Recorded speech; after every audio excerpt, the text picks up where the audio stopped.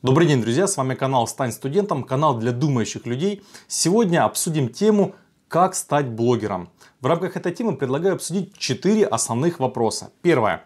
Кто такой блогер? Что понимать под этим видом деятельности? Второе. Как зарабатывает блогер и сколько? Третье. Куда поступать учиться на блогера? Четвертое. Стоит ли быть блогером? Плюсы и минусы этой профессии. Поехали!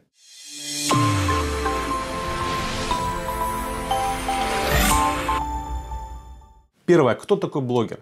Под блогером мы понимаем человека, который снимает видеоролики, в различных социальных сетях размещает посты, сторизы, рассказывает какие-то интересные истории. Я думаю, что каждый из вас владеет различными социальными сетями, у вас есть по несколько аккаунтов. Вы можете наблюдать абсолютно разных блогеров и какое-то первичное представление о том, что такое себя представляет блогер, вы уже имеете. Также блогер может выкладывать свой контент в журналах, э, на своем личном сайте, в подкастах, в стримах. И все, что возможно там, где можно разместить какие-то интересные материалы в социальных сетях. Каких популярных блогеров вы знаете? Напишите об этом в комментариях, нам тоже будет интересно посмотреть этих блогеров. Второе, как зарабатывает блогер? Здесь есть несколько способов заработка. Вы можете наблюдать, как популярные блогеры в своих видеоматериалах прямо посередине ролика вставляют какие-то интересные заметки о различных товарах, услугах, о сайтах. И с помощью этого они, соответственно, получают доход. Также они могут получать доход э, от э, платных подписок, от проведения различных мероприятий. Если блогер становится популярным, его начинают приглашать, то есть его начинают нанимать на работу. Его просят рассказать о каком-то магазине, о каком-то товаре, просят что-то продвинуть. Ну, конечно, самое страшное с нашей точки зрения, когда блогер теряет свою сущность, когда он полностью продает себя рекламе и в своих постах начинает рассказывать то, что ему предлагает рекламодатель. Соответственно, здесь уже у нас больше идет э, не блогерство, а больше идет продвижение рекламы. Но тем не менее, без рекламы быть блогером очень сложно, так как реклама дает деньги. Таких блогеров, которые меняют свою точку зрения в зависимости от смены работодателя, с которыми они работают, вы тоже можете наблюдать. Напишите, нам тоже интересно посмотреть, каких блогеров вы считаете не настоящими, но тем не менее среди популярных таких такие блогеры тоже есть. Популярные блогеры за свои посты зарабатывают просто бешеные деньги. У некоторых это может доходить до нескольких тысяч рублей, до 500, до нескольких даже миллионов рублей. То есть популярные блогеры вы можете наблюдать в социальных сетях, как они покупают Мерседесы, дарят квартиры своим близким, родным как они щедры, как они путешествуют. Все это очень здорово и действительно это манит, эта картинка манит стать блогером. И мы среди своих подписчиков видим такие вопросы, когда ребята пишут, не пойду работать, не буду учиться, зачем? Стану блогером и просто буду зарабатывать хорошие деньги, ничего при этом изучать не надо, не нужно тратить 4-6 лет в университете, либо учиться в колледже, когда можно просто стать блогером, взять в руки камеру и просто быть популярным, зарабатывать деньги. Действительно, такая картинка есть. И мы же видим, когда смотрим социальные сети, только вот эту красивую картинку, мы же не видим, что за этим стоит, какой объем работы за этим стоит. Но тем не менее, у многих появляется вопрос, как стать блогером, что для этого нужно сделать, чтобы быть популярным и просто легко, спокойно зарабатывать любые суммы денег, которые необходимы для хорошей счастливой жизни. При этом мы не видим, что блогеры на ведение своего блога тратят абсолютно все свое свободное время. Многие популярные блогеры пашут как пчелы.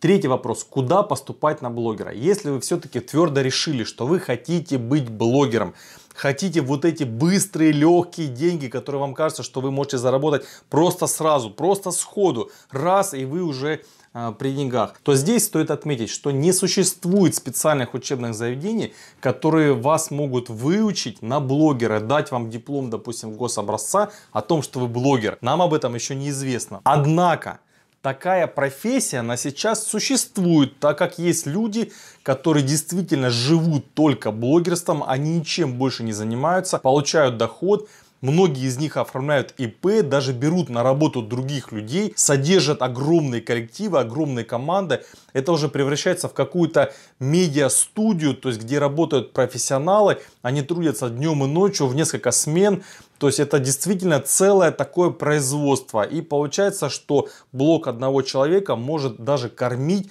несколько других семей. Кто занимается монтажом, подготовкой видео, э, работа со сценариями. Много процессов здесь происходит, которые скрыты за той картинкой, которую мы в итоге видим. На блогера можно отучиться, если вы купите какие-то курсы в интернете у популярных людей, которые знают, как вести блог, которые достигли определенных успехов. Эти люди, как правило, продают такие курсы. Не знаю, стоит ли вам в них участвовать, если вы решили, но, наверное, у успешных людей стоит учиться и этому мастерству. Но также можно научиться отдельно и ораторскому искусству, и курс Курсы вам пригодятся по видеомонтажу и курсы по аудиозвуку, курсы по записи видео, курсы по тому, как правильно выставить свет в студии. Вот эти все вещи тоже можно изучить, если вы будете поступать в высшее учебное заведение на направления, связанные с медиакоммуникациями.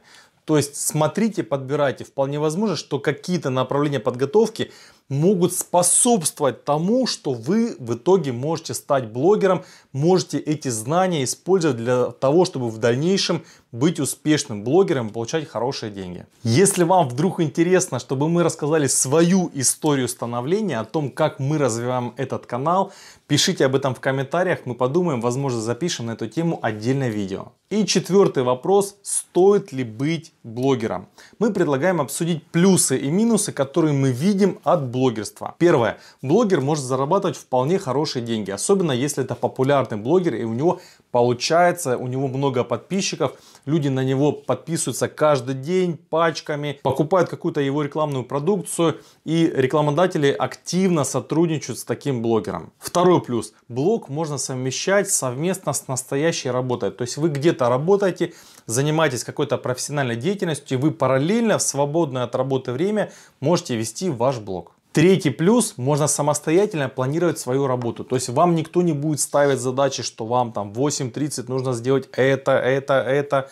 Никто не будет проверять. Вы самостоятельно устанавливаете тот план и объем работ, который вам необходимо сделать, по вашему мнению, чтобы ваш блог был более успешным. Четвертый плюс это саморазвитие. Так как для того, чтобы стать действительно настоящим успешным блогером, вам постоянно нужно совершенствоваться, узнавать новую информацию в той области, по которой вы будете вести блог.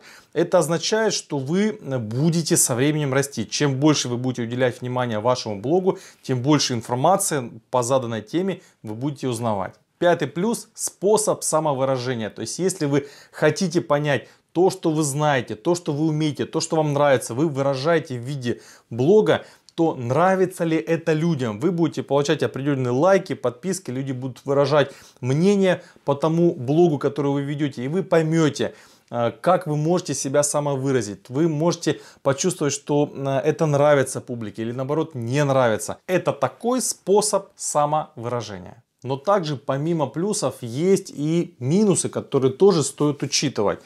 Итак, первое, то, что вас могут не понять ваши близкие, знакомые, родственники, друзья, когда вы начнете вести блог. Если они не понимают, что это такое, то на вас будут смотреть и говорить, «Э, Вася, Петя, с тобой все хорошо, ты что делаешь? Ты, ты что, блогер что ли? Будьте к этому готовы. У нас на проекте, когда мы начинали, один из первых роликов э, мы снимали на улице. Это был период пандемии, никого не было вокруг, э, но тем не менее на большой широкой улице шел один прохожий, который увидел, что мы ведем какой-то видеоблог, делаем съемку. Он не поленился, прошел большое количество времени, вошел прям к нам в кадр, э, похлопал меня по плечу и говорит, а что вы, ребята, делаете? Что за блог вы ведете? То есть всем это интересно, и в то же время все хотят какое-то свое мнение выразить по этому поводу, как вы ведете этот блог. То есть все каким-то образом понимают, как надо. Все, видимо, кроме того, кто ведет этот блог. Второй минус – это трата большого количества времени.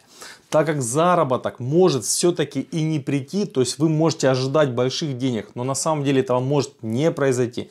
А потратите вы очень много времени, а время сейчас это золото.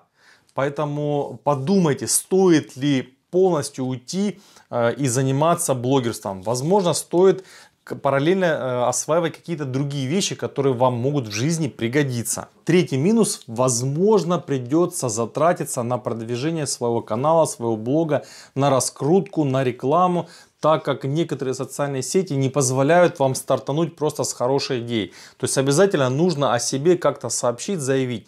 Раз у вас будут первичные траты, инвестиции в ваш блог, то здесь вопрос, сможете ли вы потом это все это купить в блоге. А вдруг что-то пойдет не так, а вдруг вы перегорите, а вдруг чего-то не будет хватать, а вдруг поменяется ситуация, политическая ситуация. Вы видите, что сейчас некоторые социальные сети закрываются, и те блогеры, которые были популярны в этих социальных сетях, они плачут, они не знают, что делать, закрываются целые команды, уходят в никуда и начинают искать работу. Некоторые действительно пишут, говорят, да, все, был блогером, теперь придется искать какую-то новую работу, идти на завод, на предприятие. Поэтому для людей это, конечно, кошмар и ужас. Потому что они зависимы от своих подписчиков, они зависимы от той аудитории, с которой они общаются они зависят от той социальной сети, на базе которой они развиваются. Четвертый минус, то что у блогера обязательно будут и конкуренты так как конкурентов может быть много. Возможно, ваш блог вдохновит кого-то еще вести аналогичный блог, аналогичный канал. Поэтому все время придется бороться за выживание. Напишите, какие каналы вы еще смотрите, когда смотрите наш канал. Какие популярные блогеры вас интересуют наравне с нашим каналом на тематику про поступление. Напишите об этом в комментариях, нам очень интересно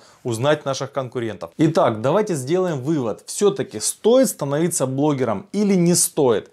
На наш взгляд, если вы не представляете, что это такое, если вы не представляете, как правильно этим пользоваться, то однозначно не стоит.